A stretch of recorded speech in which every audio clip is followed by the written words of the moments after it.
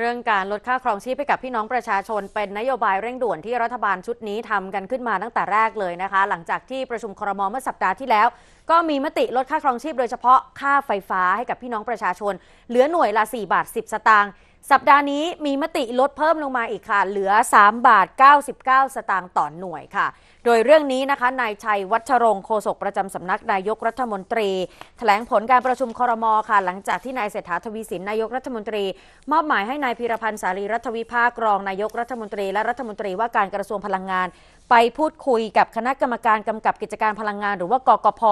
ว่ามีช่องทางที่จะสามารถลดค่าไฟฟ้าให้ประชาชนเพิ่มเติมได้อีกหรือไม่โดยนายพีรพันธ์ได้รายงานต่อที่ประชุมครมนะคะว่าไปพูดคุยกับกกพเรียบร้อยแล้ว สามารถลดค่าไฟฟ้าลงอีกได้ จากเดิมที่ลดลงเหลือหน่วยละ 4 บาท 10 สตางค์ตอนนี้เหลือ 3 บาท 99 สตางค์ต่อหน่วย โดยมีผลรอบบัญชีเดือนกันยายนนี้นะคะ ส่วนราคาน้ำมันเบนซินที่ปรับเพิ่มขึ้นต่อเนื่อง เรื่องนี้นายพีรพันธ์บอกว่าในวันนี้จะหารือกับกรมศุลกากร เพื่อให้ทราบข้อมูลการนำเข้าต้นทุน รวมถึงอัตราภาษีเพื่อหาแนวทางการแก้ไข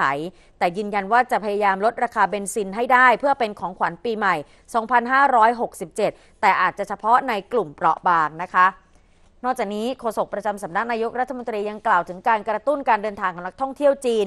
ที่ส่วนใหญ่จะท่องเที่ยวที่จังหวัดเชียงใหม่ ว่านายกรัฐมนตรีได้มีการพูดคุยกับผู้อำนวยการท่าอากาศยานเชียงใหม่ ที่ปกติสนามบินเชียงใหม่จะทำการบินอยู่ที่ 18 ชั่วโมง แต่ตั้งแต่วันที่ 1 พฤศจิกายนนี้สนามบินเชียงใหม่จะเปิดให้มีไฟล์บินตลอด 24 ชั่วโมง เพื่อตอบสนองความต้องการของนักท่องเที่ยวจีน และสอดรับกับเรื่องนโยบายฟรีวีซ่าค่ะ